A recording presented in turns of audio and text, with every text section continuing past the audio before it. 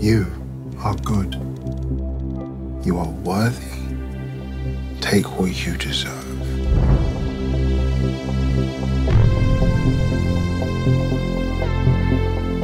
We were shooting the first episode of the first season. Uh, it was Harper walking in. She's the first one in the office, and she comes in and she sits at her desk and she's like, ah, I'm finally here.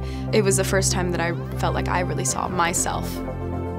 You have to be your biggest supporter, the person who's the most confident in you, or else no one will believe it. And also, things might not happen. I have to advocate for myself all the time. There really is a gap. So promote me. All right. You have to advocate for yourself. You have to be your biggest champion. Aren't you a bit young to be talking like this? I'm good enough. I'm old enough.